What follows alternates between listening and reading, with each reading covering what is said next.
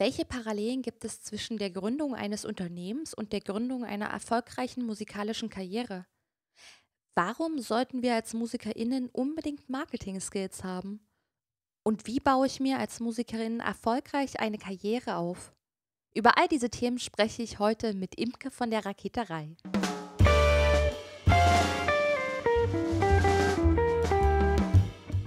Bebop-Mädchen, der Podcast, der MusikerInnen bewegt mit Themen rund um die Karriere und allem, was dazugehört. Gewürzt mit einer Prise Feminismus. Hallo, schön, dass ihr eingeschaltet habt hier zu einer neuen Podcast-Folge von Bebop Mädchen. Heute soll es um das Thema Karriere gehen, beziehungsweise wie man sich als Musikerin gut eine Karriere aufbauen kann. Und da habe ich mir einen Gast eingeladen, und zwar die liebe Imke. Die ist Podcasterin von der Raketerei, Mentorin, Ideengeberin und Partnerin in Crime. Und ich freue mich total, Imke, dass du heute mit dabei bist. Ja. Hallo. Hallo, Mandy. Herzlichen Dank für die Einladung. Was ist denn so deiner Meinung nach wichtig, wenn ich mir jetzt als Musikerin erfolgreich eine Karriere aufbauen möchte? Also ich glaube, das Aller, Allerwichtigste ist, dass man anfängt zu verstehen, dass sich eine Karriere aufzubauen in der Musikbranche im Prinzip gleichzusetzen ist wie mit einer Gründung. Also das, was wir bei Höhle der Löwen sehen, das lässt sich im Prinzip auf MusikerInnen, die sich eine Karriere in der Musikbranche aufbauen wollen, auch übertragen. Also man kommt an so gewissen Fragen tatsächlich nicht vorbei. Das sind so Fragen, wer bin ich, ähm, wie möchte ich eigentlich wirken, wie sieht der Markt da draußen aus, wer sind die Player im Markt, wie netzwerke ich eigentlich richtig und bis hin zu, ähm, in welcher Form möchte ich eigentlich meine Musik anbieten, wie möchte ich meine Musik präsentieren, wie baue ich mir meine Kommunikationskanäle und möglicherweise auch ein Team auf. Also all das, was wir im Prinzip auch ähm, aus anderen Branchen kennen, wenn Unternehmen aufgebaut werden, das lässt sich auch auf die Musikbranche und auf KünstlerInnenkarrieren eigentlich ziemlich klassisch auch übertragen. Welche Steps oder welche Schritte sollte man da gehen, damit das möglich ist? Weil das ist natürlich, wenn man das erstmal so hört, ein ganz schöner Berg, den man da vor sich hat. Ja, auf jeden Fall. Das ist auch tatsächlich ein Berg, wenn man das erstmal so hört. Und ähm, ich sage bei mir in der Raketerei-Community auch immer, dass es ein Marathon ist und kein Sprint. Und dass jeder eben gucken muss, in welcher Geschwindigkeit er oder sie diesen Marathon denn eben laufen kann. Und die allererste Frage, mit der man sich auseinandersetzen sollte als Künstler oder auch als Künstlerin, ist eben tatsächlich die Frage, ähm, wer wer bin ich eigentlich und auch wie möchte ich wahrgenommen werden. Also der, der Dreh- und Angelpunkt einer erfolgreichen Karriere und da muss jeder ganz für sich alleine, ja, für sich definieren, was Erfolg eigentlich bedeutet. Aber die allererste mhm. Frage, die man sich stellen sollte, ist genau, wer bin ich eigentlich? Da geht es wirklich so um die Künstlerin-Identität oder um die Künstleridentität und das kann man sich mhm. so ein bisschen vorstellen wie so Dominosteine, die so hintereinander aufgestellt sind. Und wenn man diese Frage beantworten kann, wer bin ich und wer sind auch die anderen, wie ist der Markt eigentlich aufgebaut. Das ist so der allererste Dominostein, der fallen muss. Und wenn dieser Dominostein fällt, dann findet man viel, viel eher heraus, okay, wer ist eigentlich meine Zielgruppe, wie soll mein Branding oder auch mein CI eigentlich sein, wer passt zu mir auch in mein Team, also was für eine Art von Manager oder Managerin sollte ich eigentlich an der Seite haben, wie sollte meine Website aussehen? Und auch gerade dieser Dominostein von Künstlerin-Identität Identität, wenn der einmal fällt, das hilft auch wahnsinnig dabei, ähm, herauszufinden, was gehört eigentlich in mein Social-Media-Profil. Ich sage immer gerne, ein Social-Media-Profil reicht. Man muss nicht auf allen mhm. Hochzeiten tanzen. Und wenn man das einmal da sein Format gefunden hat, dann geht das eben auch weiter, was man über den Newsletter kommunizieren kann, vielleicht auch kommunizieren sollte, welche Fans die eigene Zielgruppe darstellen und auch zum Beispiel, wie Konzerte sein sollten und auch ähm, was für ein Medium Medium. Ist es die CD oder ist es vielleicht eine Vinyl? Ist es rein digital? Also dieser allererste Stein, bevor es dann wirklich anfängt, sich eine Infrastruktur aufzubauen und an der Reichweite und Sichtbarkeit zu arbeiten, bevor es dann wirklich so in diesen Wachstum reingeht, also auch Sichtbarkeit und monetärer Wachstum, ist wirklich die mhm. Frage mhm. nach, ähm, wer bin ich eigentlich und warum mache ich eigentlich Musik? Also eine ganz starke Vision und eine ganz starke Mission braucht man da. Mhm, und das sollte man sich, also wenn man jetzt gerade Musik studiert, sollte man sich das wahrscheinlich dann schon im Studium überlegen, richtig? Genau, das sollte man sich anfangen im Studium zu überlegen, in welche Richtung man gehen sollte. Ich glaube, vieles wird auch tatsächlich schon an den, ähm, an den Musikhochschulen und an den Universitäten abgedeckt, inhaltlicher Art. Aber mhm. wenn man denn da in die Tiefe geht, und ich weiß, vermutlich mache ich mich mit diesem Satz jetzt sehr unbeliebt, aber es geht bei so einem Studium nicht nur darum, sein Instrument wirklich sehr gut zu spielen oder seine Stimme wahnsinnig gut zu beherrschen. Das ist natürlich wichtig, dass man das ernst nimmt und mhm. dass man das kann. Aber Selbstvermarktung und sich so eine gewisse Infrastruktur aufzubauen, gehört absolut genauso dazu, genauso wie das eigene Instrument spielen oder eben die Stimme beherrschen. Also das kann man nicht hinten anstellen, weil gerade diese Strukturen, die man sich aufbauen muss, um dann eben auch sichtbar zu werden, das ist etwas, das wächst gerade am Anfang langsam, das wird irgendwann schneller und je eher man da das Fundament und den Grundstein legt, desto eher wird man da dann auch die Früchte tatsächlich ernten. Deswegen sollte man sich früh anfangen, mit diesen Themen eben auch auseinanderzusetzen. Und wenn man sagt, okay, das ist gar nicht so meins, ich mache das nicht so gerne, dann ist das auch überhaupt kein Problem. Dann kann man halt gucken, wen kann ich mir ins Team holen, der mich wirklich dabei unterstützt, dann auch sichtbar zu werden. Also da geht es dann mhm. wirklich darum, dass die richtige Person Person auf dem richtigen Stuhl in deinem Musikerinnenunternehmen quasi dann seinen Platz auch findet. Mhm. Ja, und dazu gehört auch meistens, also das zu machen, was du jetzt gerade alles gesagt hast, dazu gehört, glaube ich, auch eine ganze Menge Mut, weil man muss nach draußen gehen und wenn man seine Identität sozusagen gefunden hat, zeigt man ja was sehr Persönliches von sich und muss dann auch, glaube ich, ab einem bestimmten Zeitpunkt sagen, okay, ich kann damit rausgehen, das Produkt ist vielleicht noch nicht hundertprozentig perfekt, also in dem Fall ich, und meine Musik. Aber es ist auf einem Level, wo ich sage, ich kann damit schon rausgehen, weil mhm. ich glaube, viele haben immer diese Hemmschwelle, dass sie sich nicht trauen und dass sie dann viel zu spät anfangen, zu netzwerken und viel zu spät anfangen rauszugehen, weil, wie du schon gesagt hast, es ist ein Marathon und das dauert halt auch eine Weile, bis man dann die Früchte einfach ernten kann. Ja, absolut, absolut. Und das ist auch etwas, dass man in diesem Prozess, gerade in der Auseinandersetzung mit der Künstlerin Identität eben auch lernt, wirklich zu verstehen oder wenn man versteht, wer man ist, auf der einen Seite lernt man auch ganz automatisch, was kommunikativ in die einzelnen Kanäle gehört. Und ich empfehle den Künstlerinnen, mit denen ich arbeite, immer zwischen persönlich und privat auch ganz klar zu trennen.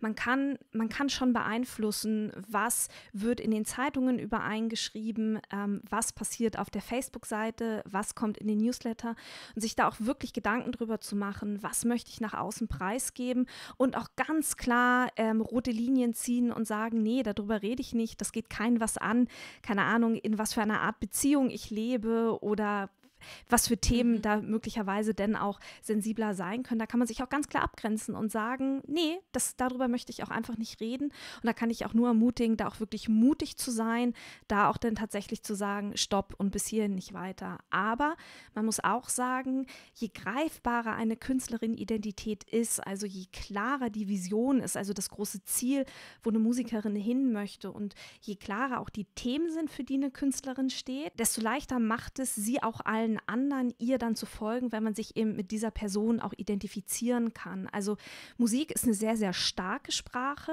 Musik emotionalisiert mhm. sehr, aber Musik funktioniert weil die Person, die die Musik macht, ist, wie sie ist. Und das, glaube ich, kann man gar nicht so hundertprozentig voneinander trennen. Und da muss man einfach so einen Modus finden, wie man damit umgeht, weil Musik eben nicht immer nur für sich sprechen kann, sondern auch tatsächlich mit der Person dann einfach verknüpft ist manchmal gar nicht so einfach, weil man manchmal halt an Punkte kommt, wo man merkt, es gibt Leute, die finden es richtig cool, was man macht. Und es gibt halt Leute, die finden es extrem blöd. Klar. Und da muss man auch total Mut haben zu sagen, okay, ich kann nicht alle kriegen, weil ich bin einfach eine super spezielle Persönlichkeit und es ist auch total cool so. Das ist überhaupt nicht schlimm. Ja, auch da, was man vielleicht als, keine Ahnung, als Schwäche wahrnimmt, oh, da gibt es Leute, die mich nicht mögen, vielleicht auch zur Stärke zu machen und zu lernen. Und das ist, glaube ich, auch ein Teil von dieser Reise, wenn man sich als Künstlerin anfängt zu positionieren und sichtbar wird und auch Umsatz macht mit der eigenen Musik. Das ist eben auch Teil der Reise zu lernen, sich auch auf das zu fokussieren fokussieren, das zum einen einem gut tut und sich auch auf die mhm. Menschen fokussiert, die ein wohlgesonnen sind. Weil es ist total klar, sobald man an die Öffentlichkeit geht, werden blöde Kommentare kommen und man kann es einfach leider nicht allen Menschen da draußen recht machen. Das heißt, diese bösen Stimmen wird es einfach immer geben. Es gibt leider immer Neider und doofe Menschen da draußen. Und ich glaube, es ist wichtig und ein Teil dieser Reise dann auch tatsächlich zu lernen, sich auf das zu fokussieren, was einem gut tut. Aber auch das lernt man auf dieser Reise. Mhm, und dem auch zu vertrauen, seiner eigenen Stimme, was die halt einem sagt. Absolut. Wo wir gerade bei so persönlichen und privaten Geschichten sind, wie hast du dir denn deine Karriere aufgebaut? Ich habe mit meiner Künstlerin, also ich bin ja keine Künstlerin, aber ich habe quasi mit meiner Identität angefangen. Ich habe mir zwar die gleichen Fragen gestellt, aber mein Weg war ein bisschen ein anderer. Ähm, ich habe damals als Promoterin und auch als Bookerin gearbeitet und auch als ähm, Projekt- und Labelmanagerin. Und für mich war damals der Ausgangspunkt, dass ich anfangen wollte zu podcasten. Und es war eine Zeit damals, in der ich mich schon sehr mit Feminismus auseinandergesetzt habe, mit Gleichberechtigung, mit Strukturen in der Musikbranche. Und mir damals, als ich mich diesen Themen geöffnet habe, eben einfach aufgefallen ist, dass Frauen deutlich unterrepräsentiert sind. Das hat mich damals vor allem deswegen gewurmt, weil äh, ich durch das Booking eben auch erlebt habe, wo die Gelder hingehen und auch Frauen sollen natürlich irgendwie Altersvorsorge betreiben können, aber es wird ihnen erschwert, wenn sie auf den Bühnen nicht stattfinden und dadurch nicht Teil des Geldflusses sind. Und ähm, als mir das damals so aufging, habe ich halt angefangen, in die Richtung noch weiter zu lesen, Expertise aufzubauen und meine bestehende Expertise auch auszubauen.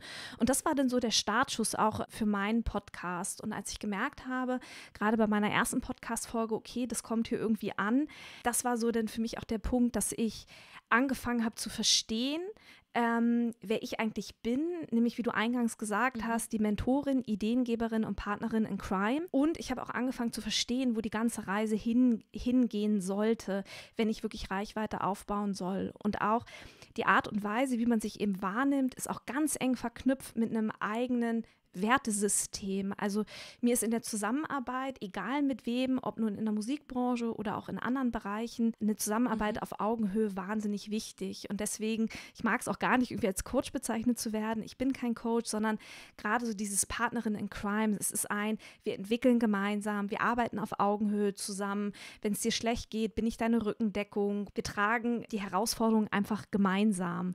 Na? Ne? Und ähm, durch meine Werte und durch meinen Werdegang habe ich dann meine Identität gefunden und auf Basis meiner Identität habe ich einfach eine Vision entwickeln können. Das hat lange gedauert, bis ich meine Vision hatte, bis ich für mich klar hatte, dass ich mit Raketerei wirklich Vorbilder produzieren möchte, um Frauen in der Musikbranche wirklich sichtbar zu machen. Und mittlerweile ist es jetzt so, Raketerei gibt es seit 2017, dass diese Vision mhm. ich so stark spüre und ich einfach alles, was ich anbiete, genau auf diese Vision eben ausrichte. Und das hilft mir, unternehmerische Entscheidungen zu treffen, aber es hilft auch den Leuten da draußen zu verstehen, wer ich bin und was ich eben anbiete. Mhm, das ist total gut, weil so eine klare Vision zu finden, ist nicht so einfach und die dann auch zu vertreten, ist, glaube ich, nochmal ein Schritt, der dazu kommt. Ja, total, total. Und man muss sich halt auch wirklich ähm, bewusst machen, auch da wieder, das ist ein Marathon und es ist wirklich kein Sprint, aber man muss eben am Anfang bereit sein, sich gewissen Fragen zu stellen, vielleicht auch, dass man sich unangenehme Fragen anfängt zu stellen. Und wenn man durch das eine oder andere Nadelöhr durch ist und Antworten gefunden hat, bestärkt einen das wahnsinnig und man fängt an, immer mehr an sich zu glauben. Das ist das, was ich in der Community beobachte. In dem Moment, in dem dieser Groschen von Identität und Vision und Mission gefallen ist, ähm, geht es für die Künstlerin quasi ja in die Reichweite, in die Sichtbarkeit und in den Wachstum. Ja, das stimmt. Das kann ich mit, also mit der Entwicklung von meinem Podcast total unterschreiben. Am Anfang war ich noch relativ unsicher. Ja. Auch mit den Themen, bis das sich sozusagen gefunden hat, welche Themen es jetzt genau werden sollen. Das hat alles ein bisschen gedauert. Ich habe ein paar Sachen auch probiert und irgendwann war es dann so weit, dass ich dachte, okay, jetzt habe ich ein Produkt und dann bin ich rausgegangen und dann habe ich gutes Feedback bekommen und das pusht einen natürlich unheimlich, wenn man merkt, okay, die Leute können greifen, was man macht und die Leute finden, also es gibt nicht alle natürlich, aber es gibt Leute, die es gut finden und die sehen eine klare Identität und die finden das gut. Ja, und du hast gerade was ganz Wichtiges gesagt. Du bist rausgegangen und hast ausprobiert und ich glaube, das ist ganz, ganz wichtig, dass wir aus unseren vier Wänden raus müssen. Wir sollten nicht auf den Moment warten, dass wir hier zu Hause bei uns im Büro oder im Wohnzimmer sitzen oder im Tonstudio an Reglern drehen und mhm. warten, bis ein Sound perfekt ist oder in deinem Fall, dass bis eine Podcast-Folge perfekt ist, sondern es geht halt wirklich darum, an einem gewissen Punkt oder auch Instagram- und Facebook-Postings nicht dran rumzuschrauben, bis sie vermeintlich perfekt sind, sondern sich mhm. hinsetzen, Deadline setzen, dann hat man eine Testversion fertig, dann geht man damit raus und dann geht es wirklich darum, okay, was sagen die Leute da draußen, wie reagieren sie und dann eben auch auf das konstruktive Feedback hören und so nach und nach das, was man macht und das, was man anbietet, auch wirklich zu verbessern und auch überhaupt keine Angst vor Fehlern zu haben. Also wenn ich auf mein Leben zurückgucke, in den Situationen, wo ich alles richtig gemacht habe, habe ich einfach nichts gelernt. Aber in den Situationen, in denen ich halt auf die Nase gefallen bin, daraus habe ich gelernt. Und das sind die wertvollen Learnings. Deswegen keine Angst haben, einfach Fehler machen und das Beste für sich rausholen. Ja, und sich auch selber vertrauen, einfach in den Entscheidungen, die man trifft. Ja, absolut, absolut. Auch wenn man vielleicht danach sagt, mm, war nicht so gut, was ich da gemacht habe oder, oder hm, habe ich mich nicht ganz so gut präsentiert, hätte ich besser machen können.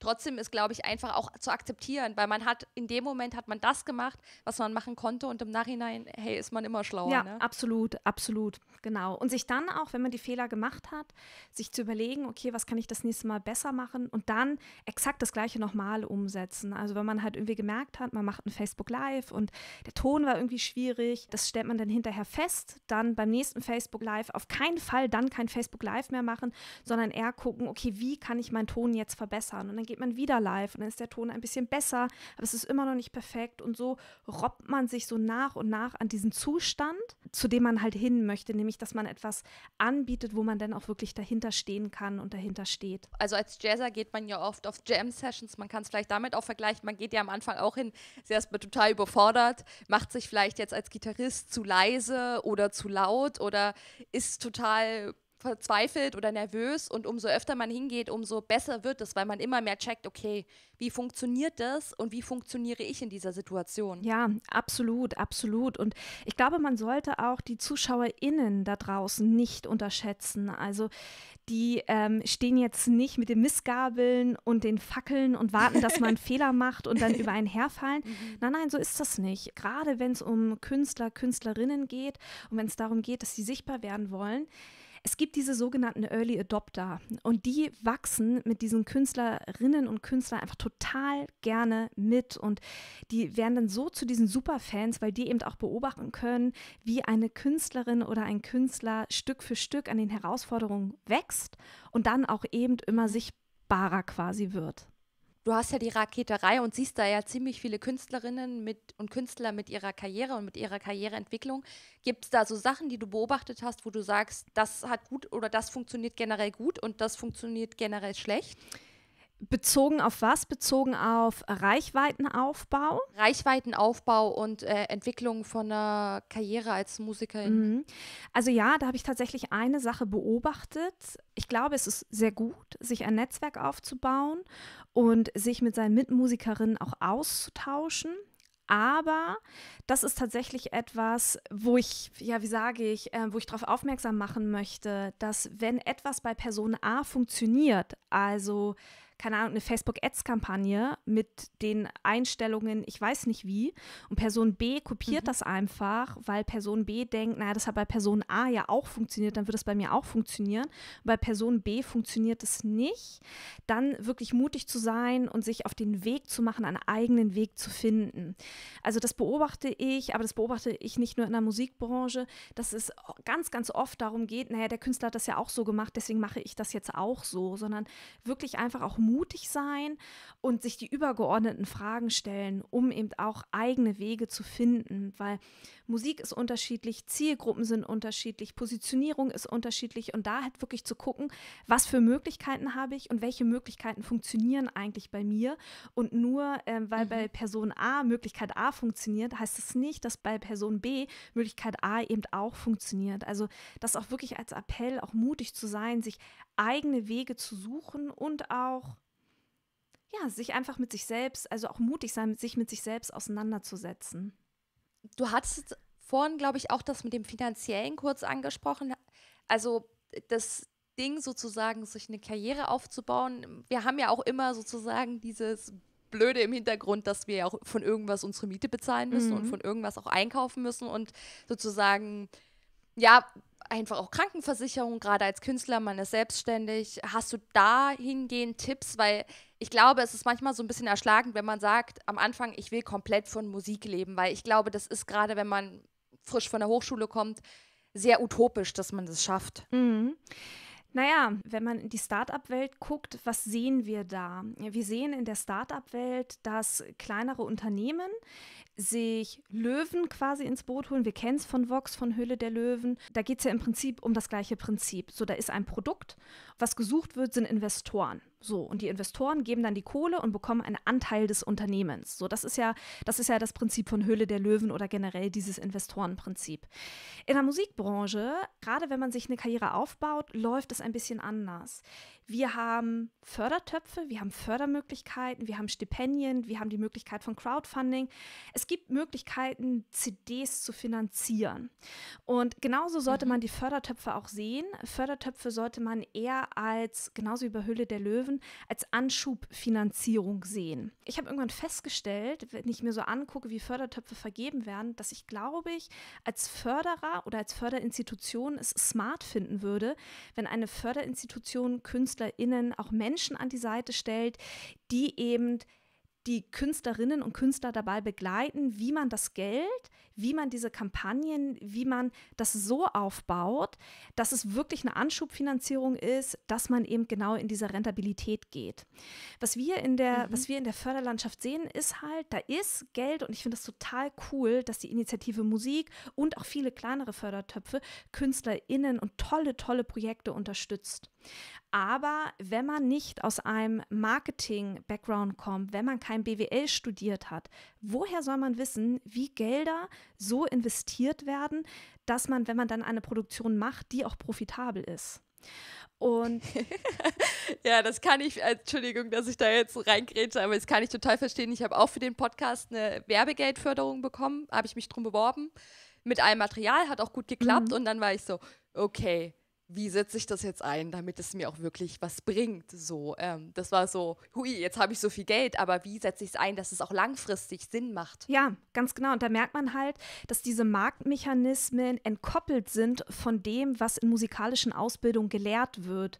Und wenn das entkoppelt wird, dann kann man natürlich ganz logischerweise, ne, woher soll das Wissen denn auch kommen, dann kann man auch nicht immer unbedingt so äh, investieren, dass man das dann auch tatsächlich als Anschubfinanzierung äh, wahrnehmen kann. Aber so sollte es halt eigentlich wahrgenommen werden. Und was ich mit den Künstlerinnen in der mhm. Raketerei-Community mache, ist, dass ich mit den Künstlerinnen Angebote entwickle und ähm, genau diese Mechanismen erarbeite. Nicht nur, wie man sich eine Community aufbaut, sondern dann eben auch, wie spricht man welche Art von Angebote aus und was für Mechanismen haben wir eigentlich, um das, was wir anbieten wollen, dann eben auch tatsächlich rentabel zu machen. Also quasi, man kann sich Raketerei in dem Fall wirklich so als Brücke vorstellen. Brücke zwischen, ich komme aus einer musikalischen Ausbildung und möchte jetzt Teil des Musikmarktes sein, weil ich von meiner Musik leben will. Und auch das definiert ja jeder komplett unterschiedlich für sich. Die einen meinen damit die großen Bühnen, andere sagen, ich möchte hin und wieder ein Wohnzimmerkonzert spielen und ich unterrichte aber. Ne? Also jeder definiert das ja auch selber für sich. Und Raketerei ist genau diese Brücke, genau in dieser in diesen Markteintritt dann auch zu begleiten. Oder auch die Brücke, Frau kommt aus der Elternzeit und möchte zurück in den Musikmarkt. Also den Fall habe ich auch häufig in der Community, dass die Musikerin manchmal aus ganz doofen Umständen, aber plötzlich zehn Jahre lang nicht haben arbeiten können. Manchmal sind ja die Familienverhältnisse so und zurück in den Markt kommen und festgestellt haben, oh krass, da ist jetzt Spotify, da ist ganz viel Internet, wie gehe ich denn mit diesen neuen Marktmechanismen auch um? Und auch da wirklich zu gucken, okay, wie kann ich das jetzt für mich nutzen? Und diese beiden Brücken bildet Raketerei im Prinzip. Ja, das ist, glaube ich, echt äh, ein großes Problem, dass sich der Musikmarkt ja so immens einfach verändert hat. Früher wurde man vielleicht mal entdeckt, dann hatte man ein Label, dann hat das Label einen verkauft und dann war irgendwie gut. Ja. Und mittlerweile ist es ja durch den Online-Markt, es hat sich ja so krass viel verändert und ich glaube, nichts gegen die Musikhochschulen, die machen einen tollen Job. Aber ich habe manchmal das Gefühl, es ist an vielen Schulen noch so ein bisschen altbacken, Ja. ohne dass jetzt böse, also es, altbacken ist vielleicht ein nicht so schönes Wort, aber es ist noch so ein bisschen aus einer älteren Zeit. Es ist so noch so ein bisschen nostalgisch. Ja, es ist nicht mehr zeitgemäß. Die Ausbildungen sind einfach nicht mehr zeitgemäß. Aber das ist auch nicht nur im musikalischen Bereich so. Guck dir die Schulen an. Die Lehrer machen einen wunderbaren Job. Ich hatte viele wirklich wunderbare LehrerInnen in meiner Schulzeit damals. Aber wenn ich mir angucke, was in der Schule beigebracht wird, dieser Lehrplan ist einfach zehn Jahre hinter der Zeit. Und das merken dann die Leute in dem Moment, in dem sie sich ja mit der Realität quasi anfangen auseinanderzusetzen. und dann oft einfach auch überfordert sind, weil wenn man sich nicht so viel mit dem Online-Markt in der Hochschule auseinandersetzt und natürlich auch mit den Leuten dann über Sachen redet wie Jam Sessions oder wie geil John Coltrane auf der und der Aufnahme gespielt hat, jetzt mal aus dem Jazz geredet, dann kommst du halt dann irgendwann, bist du kurz vor deinem Abschluss und dann merkst du so, oh, und was mache ich dann? Ja.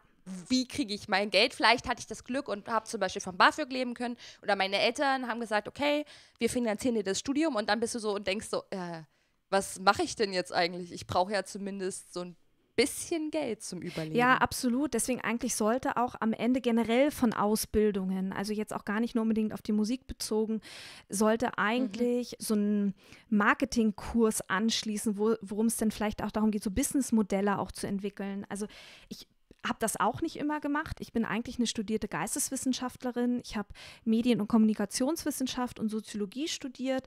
Und ich meine, was habe ich gelernt? Ich habe gelernt, komplexe Texte zu lesen und komplexe Texte zu schreiben. Damit kannst ja, also das ist ja eine Geisteswissenschaft, ne? Das ist ja, ist ja auch was, was sehr Kreatives. Und ich musste mir das alles selber raufschaffen, aber weil ich auch irgendwie Bock drauf hatte. Und ich habe damals auch schon gedacht, es wäre eigentlich cool, auch schon bei den Geisteswissenschaftlern, denen diese Möglichkeiten einfach an die Hand zu geben und zu sagen, okay, du kannst dir eine Festanstellung suchen. Ich hätte arbeiten können bei einer Zeitung, im Radio. Ich habe auch eine Zeit lang ähm, beim Film und Fernsehen gearbeitet. Das war aber dann am Ende alles nicht so richtig meine Welt. Aber eben einem auch diese Möglichkeit zu zeigen, hey, du kannst dich auch selbstständig machen und dann wirklich die Wege zu zeigen. Ich habe nie gehört zu Schulzeiten, dass es diese Möglichkeit von Selbstständigkeit tatsächlich gibt, weil ich habe in der Schule gelernt, Lebensläufe zu schreiben und Bewerbungen auf Festanstellungen. Und wäre es nach meinen Eltern gegangen, wäre ich heute Flugbegleiterin oder Hotelfachfrau. Ja, und Uh. äh, ja, eine ne, ne total andere Welt. Und es hat für mich auch wirklich gedauert zu begreifen, dass das zum einen Jobs waren, die meine Mutter damals gerne gemacht hätte, aber es auch zuzulassen, dass Kreativität durchaus einen Wert hat. Und es ist nicht immer die Gesellschaft, die dem den Wert beimisst, sondern das, was wir machen, ist so wertvoll, wie du ihm Wert beimisst. Das heißt, wenn das, was du machst, wenn du das als wertvoll empfindest, dann setz dich auf deinen Hosenboden und schaff dir die Struktur dafür, weil in dem Moment, in dem du anfängst, dich ernst zu nehmen, wird das nach außen strahlen und auch andere werden anfangen, dich ernst zu nehmen. Und ich habe das am Anfang von Raketerei auch gemerkt, als ich äh, anfing zu erzählen, ich gründe und das nennt sich Raketerei. Am Anfang haben das die Leute wahrgenommen und dann irgendwann haben sie gesehen, ach so, die meint das ja wirklich ernst und dann hat sich auch die Wahrnehmung über Raketerei angefangen zu verändern. Aber es fängt bei einem selber an. Man muss selber anfangen dran zu glauben. Es wird ja immer oft gern als Hobby abgetan. Ja, leider. Also gerade Musik. Ja. Mhm. Mhm. Ja, das ist äh, schon gar nicht so einfach, da einen Weg zu finden, der gut für einen funktioniert. Und vor allem auch diesen Weg in die Selbstständigkeit, das kann ich total unterschreiben. Also was ich auch meistens gemacht habe in der Schule, ist halt Lebensläufe schreiben für Festanstellungen, Vita schreiben für Festanstellungen. Das ist ja ein großer Unterschied. Wäre klar, ich verkaufe, auch wenn ich mich jetzt als Sekretärin zum Beispiel bewerbe, verkaufe ich auch mich, klar. Mhm. Aber ich verkaufe ja hauptsächlich, was ich für Erfahrung gemacht habe. Aber als Künstler ist es ja irgendwie nochmal, das ist ja eine ganz andere Hausnummer. Das ist ja, kann man ja gar nicht miteinander vergleichen. Absolut.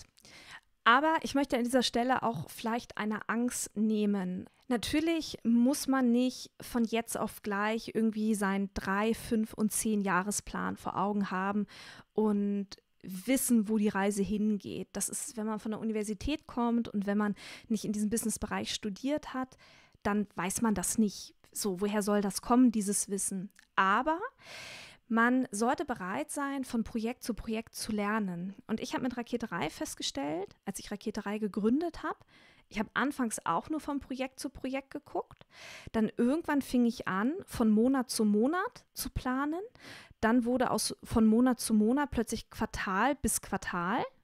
Dann hatte ich irgendwann eine mhm. Halbjahresplanung und mittlerweile ist es so, dass ich in Jahreszyklen plane und dadurch, dass ich jetzt in Jahreszyklen drin bin, eben auch weiß, wo ich in drei, fünf oder sogar zehn Jahren stehen möchte. Also auch das, es ist an allem, wenn es darum geht, sich eine Identität aufzubauen, wenn es darum geht, sich eine Arbeitsinfrastruktur aufzubauen, wie eine Website oder so, wenn es um Sichtbarkeit, Reichweite, Wachstum und Umsatz geht, es ist ein Heranpirschen und rausfinden, was funktioniert für mich.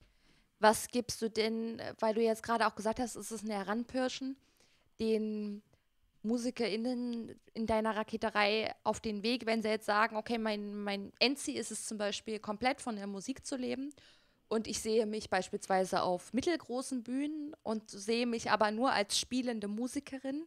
Aber ich bin ja jetzt, bin ich ja an dem Stand noch nicht und ich muss ja aber jetzt auch sozusagen meine Miete bezahlen und auch andere Sachen bezahlen. Was gibst du da für Tipps, wie man erstmal diese, diesen Zwischenzeitraum sozusagen gut überbrückt? Ja, sehr gute Frage, sehr gute Frage. Also, der, wie nennt man das in der Musikbranche immer so schön, der Brotjob.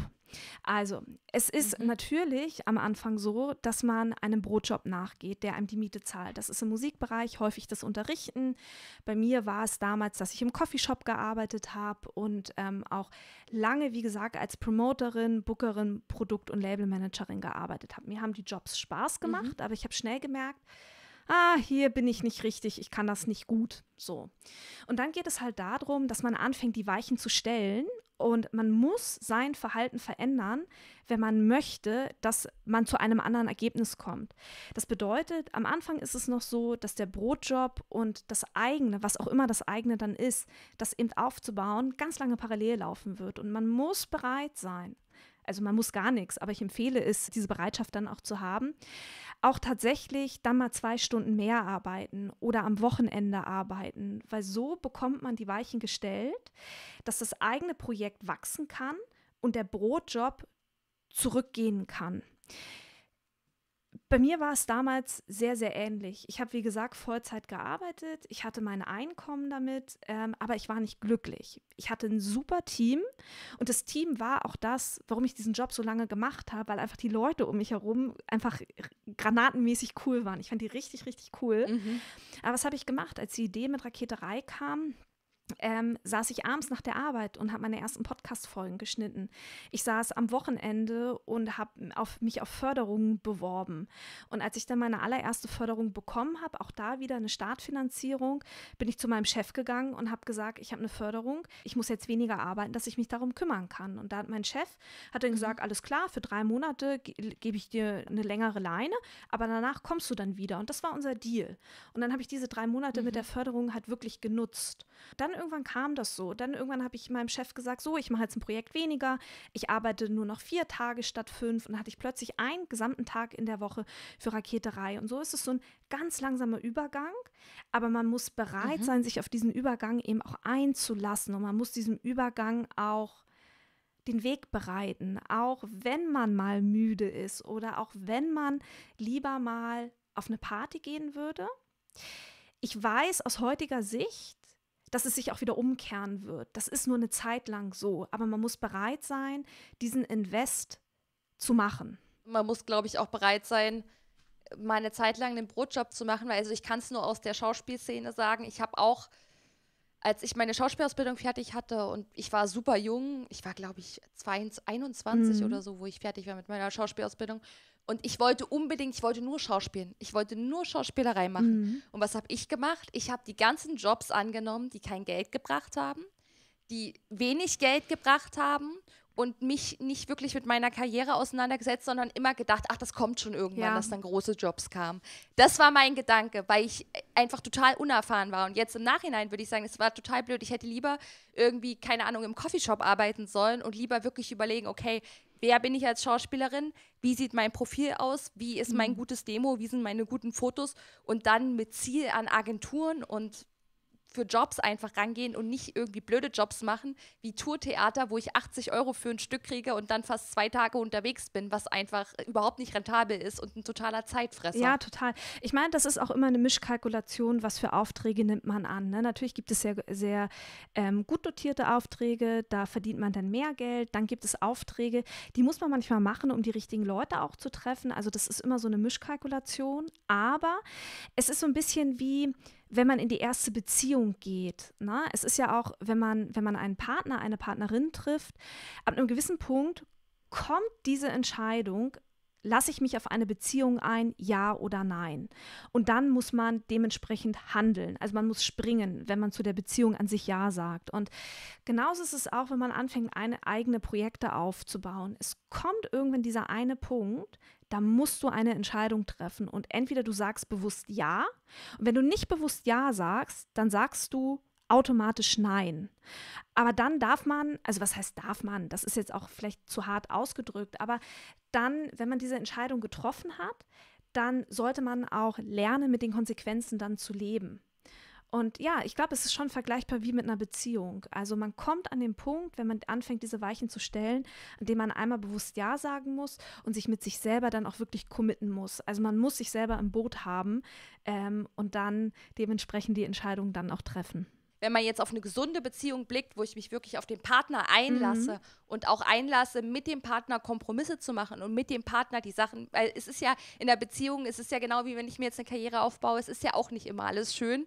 Und manchmal muss ich Sachen machen, Wege gehen, Sachen akzeptieren, die mir nicht so passen. Manchmal verletzen mich Sachen, manchmal machen mich Sachen wütend, manchmal traurig. Mhm. Aber wenn ich sozusagen bewusst immer wieder Ja zu dieser Beziehung sage, genau wie wenn ich immer wieder Ja zu meinem Weg sage, dann geht man den. Dann, dann schafft man das, glaube ich, auch. Absolut. Und dann fängt man an, ein so ein lösungsorientiertes Mindset zu entwickeln. Dann lautet die Frage oder dann lautet die Aussage nicht mehr, das schaffe ich nicht, sondern dann wird diese Aussage zu einer Frage. Und zwar die Frage, was muss ich tun, um XYZ dann auch zu erreichen. Und in dem Moment, in dem man mhm. aus einer Feststellung, die in eine Frage anfängt zu formulieren, fängt man eben auch an, seinen Kopf mit ins Boot zu holen und zu trainieren, weil der Körper oder der Kopf unterschwellig anfängt, nach Lösungen zu suchen. Ich glaube, das größte Problem ist tatsächlich immer das Geld. Ich hatte dieses Delta ganz am Anfang von Raketerei auch.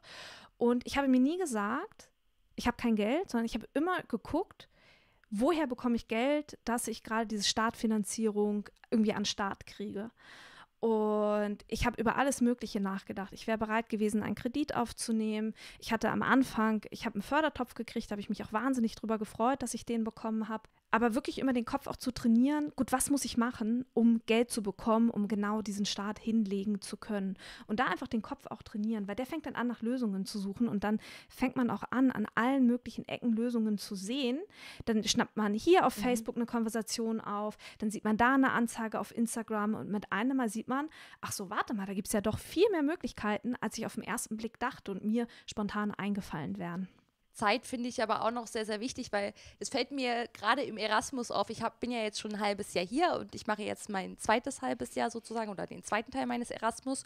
Und im ersten Teil war ich so, ja, ich bin auf keine Jam-Sessions gegangen, ich war auf einer, mhm. ich habe viel geübt und sowas. Und jetzt habe ich mitgekriegt, oh Scheiße, es ist nur noch ein halbes Jahr. Ja. Es ist bald, ist sozusagen, ist die Zeit um. Und ich glaube, das ist so ein ich glaube, das ist ein Teufelskreis, den man auch manchmal im Studium hat, dass man, da, weil da hat man unheimlich viel Zeit, sich zu entwickeln. Man hat so viel Zeit in diesem künstlerischen Studium. Mhm. Das stelle ich ja hier auch fest, wie viel, wie viel Kapazität ich habe. Und man denkt oft so, ach ja, den Master, da, da habe ich ja noch drei Jahre oder zwei Jahre Zeit, dann kümmere ich mich dann darum. Und ich glaube, das ist ein großer Fehler, weil man dann genau die wunderbare Zeit, die man hat, wegschmeißt und dann irgendwann in Stress kommt, weil man sagt, okay, jetzt habe ich nur noch ein halbes Jahr und ich will dann von Musik rein leben und ich habe mir noch keine Gedanken gemacht, wie. Ja, beim, auch bei diesem ganzen Thema Zeitmanagement, also Zeit an sich kann man ja nicht managen. Wir alle haben 24 Stunden am Tag, das wird nicht mehr, das wird nicht weniger. Mhm. Es geht, glaube ich, beim Zeitmanagement eher um die Zeit, die wir nicht managen, die wir dahin streichen lassen, warum auch immer. Und das sind aus meiner Beobachtung, auch aus der Raketerei-Community, ganz häufig innere Blockaden. Das ist ganz oft Mindset, weil da so eine ganz fiese kleine Stimme, ich nenne ihn den inneren Miesepeter, äh, denn doch im mhm. Hinterkopf sitzt und sagt, ach, deine Eltern wollten eh, du sollst was anderes machen, als Künstler kannst du doch kein Geld verdienen. So, und das sind dann so Stimmen, die sich dann melden und das kann lähmen. Und dann ist da ganz viel Zeit, die man plötzlich nicht genutzt hat und dann kommt genau der Druck am Ende, dass man denkt, ah, jetzt ganz schnell, jetzt ganz schnell. Und dann schnappt halt ganz schnell auch mal die Ungeduldsfalle zu, dass es einem dann alles auch nicht schnell genug geht. Mhm, dass die Ergebnisse nicht schnell genug kommen, genau. die man gerne möchte. Ja, genau. Aber auch da, man muss sich einfach bewusst machen, wenn es um das ganze Thema Wachstum und Reichweite geht, die Seele muss immer mitwachsen. Und wir sind, glaube ich, in der Musikbranche einfach, hier sind keine Leute in der Musikbranche, die von heute auf morgen durch die Decke gehen und seelisch stabil bleiben, sondern wir müssen lernen, mit Sichtbarkeit und Reichweite umzugehen, weil mit Sichtbarkeit und Reichweite geht auch eine Verantwortung einher. Und das ist eine Rolle, die man lernen muss. Und deswegen ist es gut, dass es langsam geht und nicht super schnell. Total. Also man sieht es ja an Beispielen, in der vergangenen Zeit gab es das, oder in den vergangenen Jahrzehnten gab es das ja noch häufiger als jetzt, dass Künstler plötzlich so durch die Decke gegangen sind, relativ schnell, durch ein Label, was die extrem gepusht hat. Und man sieht ja auch manchmal, wie schnell die dann kaputt gegangen ja. sind. Ja, genau, genau, wo die Seele dann quasi nicht hinterher kam. Kann ich auch total unterschreiben, merke ich ja mit dem Podcast auch, umso mehr Reichweite ich kriege, umso mehr die Leute es hören, umso mehr Feedback ich kriege, umso mehr merke ich auch, oh Gott, es ist plötzlich so ein Druck, weil es hören plötzlich viel mehr Leute als am Anfang. Da sind wirklich Leute, die mir zuhören, ja. ja, nein, nein, aber plötzlich sind es halt so viele. Also weißt du, wenn, wenn sozusagen, ich habe jetzt auch eine Einladung gekriegt für einen Live-Podcast mhm. und das war so, dann dachte ich so erstmal so, ja, ist ja ein kleines Festival und da habe ich das Festival geschaut und war so, oh, das sind ja ganz schön viele Leute, die mir dann wahrscheinlich zuhören werden. Und dann wächst innerlich so der Druck und dann kommt wieder auch dieser, diese Perfektionismusfalle, die, glaube ich, auch bei vielen Künstlern immer zuschlägt. Und da muss man echt vorsichtig sein, dass man da nicht in so eine Panik verfällt, weil man denkt, ich schaffe das nicht, ja. ich bin nicht gut genug. Ja, ja, genau, ganz genau, ja. Ja, wir haben jetzt schon ganz viel über Karriere geredet. Hast du denn noch irgendwelche Tipps oder haben wir irgendwas vergessen innerhalb der Folge?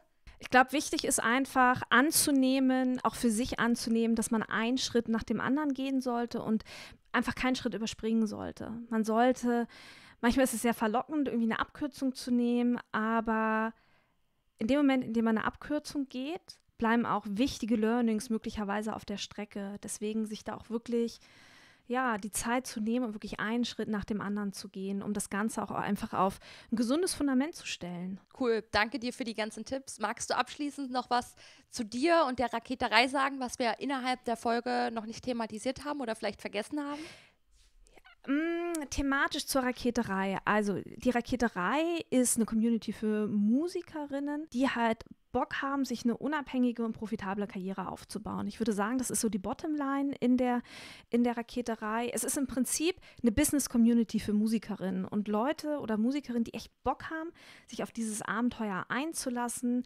Für die ist diese Community eben genau das Richtige, weil es eben nicht darum geht, okay, ich mokle hier alleine an den Themen rum, sondern es ist wirklich ein begleitetes mit Themen auseinandersetzen. Ähm, es ist ein sehr vertrautes Miteinander es ist mittlerweile ein wundervolles, großes, großes Netzwerk geworden und ich kann nur einladen. Es gibt Möglichkeiten, die Musik profitabel zu bekommen. Man muss einfach bereit sein, diesen Weg zu gehen. Und äh, die Raketerei kann dann genau einer der Orte dafür sein. Ich kann auf jeden Fall nur allen empfehlen, sich mal mit der Raketerei auseinanderzusetzen. Und äh, ich fand es total toll, dass du heute mit dabei warst, Imke. Danke für die ganzen Tipps. Danke, Mandy, für die Einladung. Vielen, vielen Dank. Ja, sehr gerne. Und ich wünsche euch allen, die jetzt zugehört haben, einen schönen Morgen, Mittag oder Abend, wann auch immer ihr diesen Podcast hört und freue mich schon, wenn ihr in zwei Wochen wieder einschaltet. Bis bald.